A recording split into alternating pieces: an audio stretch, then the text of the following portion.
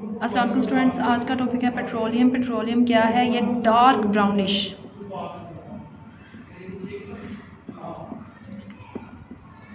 Dark brownish और greenish black colour का viscous liquid होता है पेट्रोलियम आप इससे आम रूटीन में भी इसका यूज़ आपको पता है।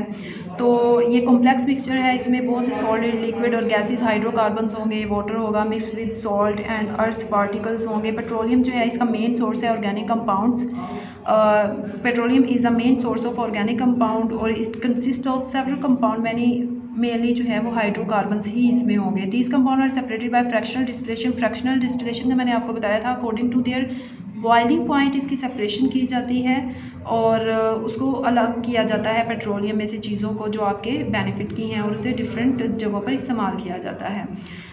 Each fraction is not a single compound other each of it consist of different organic compound इसका डिटेल में आगे पढ़ना है पेट्रोलियम का। नेचुरल गैस नेचुरल गैस क्या है? नेचुरल गैस आपके घरों में इस्तेमाल नेचुरल गैस में लोअर मोलिकुलर मैस हाइड्रोकार्बन हैं और मेन कंपोनेंट इसका 85 परसेंट जो है इसके अंदर मिथेन होगी। 85 परसेंट इसमें मिथेन है सी एच फोर और along with other gases ethane propane and butane भी हो सकी है। इसका ओरिजिन क्या है? Its origin is similar to that of coal petroleum जैसे वो हासिल किए जाते हैं, इसी तरह से नेचुरल गैस को भी निकाला जाता है। There it is found with their deposits as shown in figure figure में अभी आपको दिखा देती हूँ किस तरह से निकाला जाता है इसके डिपॉजिट्स में से। Natural gas is use as fuel in home आपके घरों में खाना बनाने के लिए इंडस्ट्रीज़ में काम करने के लिए फ्यूल को इस्तेमाल किया जाता है, गाड़ियाँ चलाने के लिए कंप्रेस नेचुरल गैस जो है सी के तौर पर इसे इस्तेमाल किया जाता है। Natural gas is also use to make carbon black and fertilisers को भी आ, उसमें भी इसका इस्तेमाल है। तो ये आपके पास जस्ट थ्योरी के टॉपिक्स हैं। इसमें जस्ट लर्न करना है। इसमें ऐसा रिएक्शंस नहीं है स्ट्रक्चर्स नहीं है इसको जस्ट लर्न करना है। आपको क्वेश्चंस आ जाते हैं कि write a note on petroleum या write a note on natural gas तो आपने इसको लर्न करना है। अगर इसका मैं आपको डायग्राम दिखाऊँ तो ये है आपके पास इसकी डायग्राम जिस तरह से ये निकाली जाती है अर्थ क्रस्ट है, इसके पास आपके पास रोड्स भी हैं गैस है पेट्रोलियम वाटर और ये सारा कुछ ज़मीन के अंदर है। सब चीज़ें ज़मीन के अंदर से निकाली जाती हैं तो ये एक मेथड है इसको निकालने का।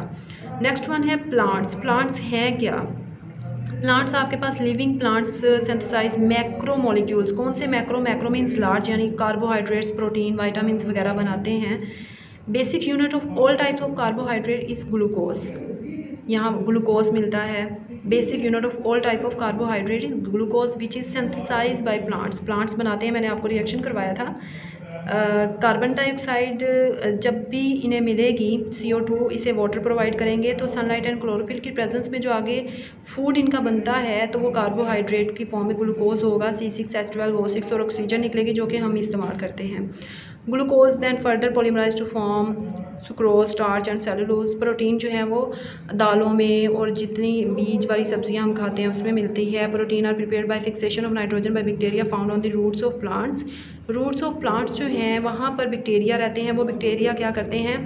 वो वहाँ पर रहने की जगह लेते हैं और प्लांट्स को नाइट्रोजन प्रोवाइड करते हैं नाइट्रेट्स की फॉर्म में और पौधे अच्छा काम करते हैं। ऑयल फाउंड होता है in the form of seeds जैसे सनफ्लावर से ले रहे हैं और बहुत से बीज कोकोनट वगैरह ग्राउंडनट वगैरह, वहाँ से हम लोग बहुत ऑयल ले रहे हैं। वाइटामस जो हैं वो क्या हैं? वो भी एप्पल सिट्रस फ्रूट्स वगैरह से मिल रहा है। These major food item plants also give us gums rubber medicine etcetera तो ये आपके पास है प्लांट्स की इन्फॉर्मेशन नेचुरल गैस की एंड पेट्रोलियम की। तो इसको आपने लर्न करना है। Thank you so much for watching